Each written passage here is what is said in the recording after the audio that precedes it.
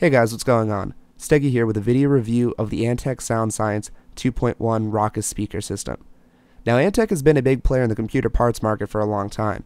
Many who create a custom built computer will find Antec components inside, whether it be a case, a power supply, heatsink, etc. Recently, Antec has stepped into the PC speaker market with a subsidiary company called Sound Science and their inaugural product, the Rockus 2.1 sound system. The Rockus aims to tackle many tasks the consumer runs into on the day to day movie streaming, music playing, and gaming.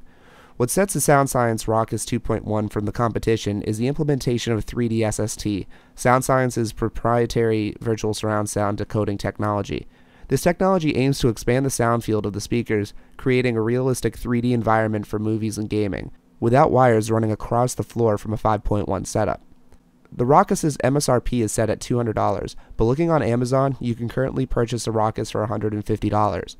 For reference in this review, I pitted the Rockus 2.1 against my Swan M10, another 2.1 speaker system at a comparable price point. So how does the Rockus fare? Well, let's jump into the design first. The Rockus 2.1 follows a standard 2.1 design. Inside the box includes a 100 watt subwoofer, two 25 watt satellites, and various cables. You get a 3.5mm to 3.5mm cable, a 3.5mm to RCA cable, and an RCA to speaker wire cable to connect the subwoofer to the satellites.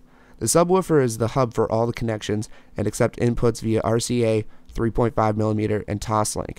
This allows you to connect a range of devices to the speaker set without causing headaches from constant connecting and disconnecting.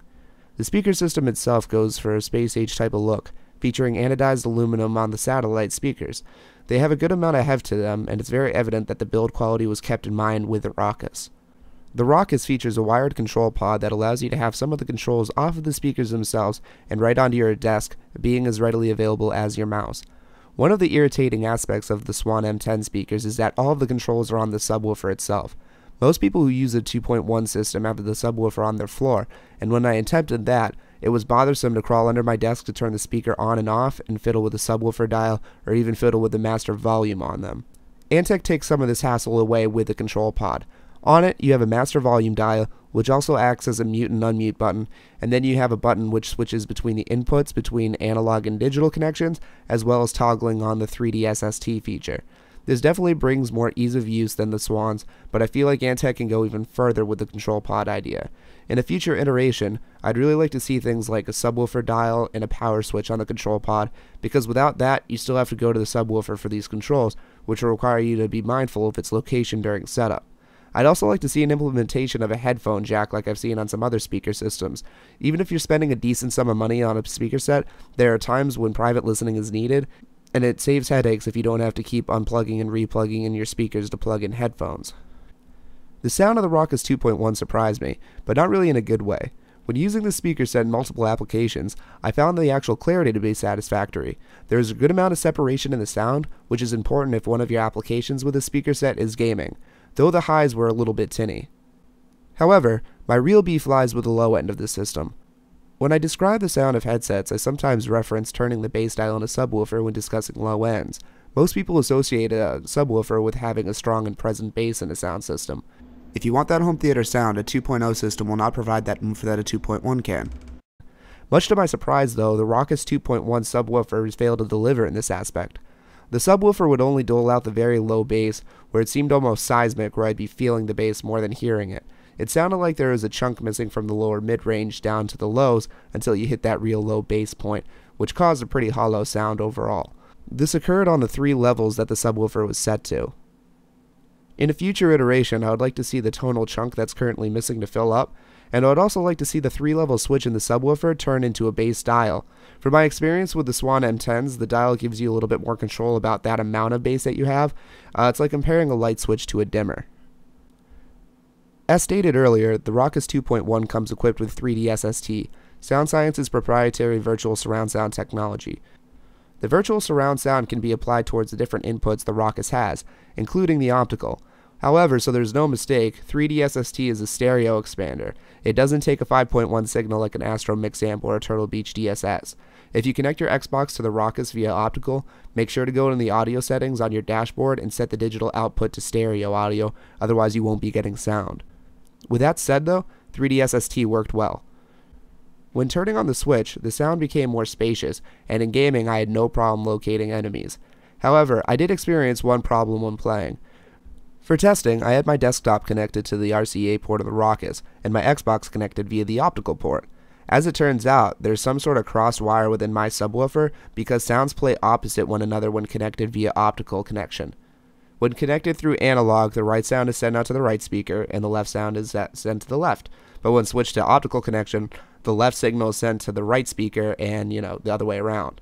I'm sure this was just an isolated occurrence in my test unit. All I had to do was keep the speakers connected in the switched way since my Xbox would remain connected via optical and I was set. Having the sound reversed in music wasn't that big of a deal to me. With this in mind, though, if you find yourself owning a pair of Rockus speakers, I would check this just to make sure that you aren't having reverse sounds as well. So, with everything said, what are we left with? Well, there are definite opportunities for the speaker set, but all in all, I think that the Rockus 2.1 is a good first stab from Sound Science. I think that a lot of the features and options Sound Science is going for with the Rockus is the direction in which 2.1 speakers should be going in. Now more than ever, we have multiple tasks for products while desiring convenience. The Rockus brings this with the implementation of virtual surround sound for game and movie use, and implementing a control pod to bring the controls of the speaker right in front of you. However, the speakers aren't perfect. It would have been more of a difficult sell if it had remained at $200 MSRP, but at around $150, it's a pretty good price point. Some 2.1 speakers trump the Rockus in some aspects, and the Rockus trumps some speakers in others. On a pure sound fidelity basis, I like my Swan M10s, but on the basis of convenience of use, the Rockus trumps it in that regard thanks to the control pod. It all depends what you're looking for in your 2.1 system. But what's nice is that the Rockus is the only 2.1 system I'm currently seeing right now aiming towards the gaming market by taking advantage of virtual surround sound, something I've seen other companies implement in headsets or soundbars, but not in 2.1 systems. Feature-wise, the system is great. Sound quality-wise, it can improve. I definitely think that an eye should be kept on this company, as I'm sure we can expect better and better products to come along. If Sound Science is going to revisit the 2.1 market with another iteration, I would like to see the virtual surround sound be taken further with 5.1 decoding. I would also like to see them take the idea of the control pod further, and most importantly, I'd like to get that full warm sound one would expect from a 2.1 system. But for now, if you're in the market for a 2.1 speaker system looking to cater to the needs of a gamer, check out the Rockus 2.1 at soundscienceaudio.com.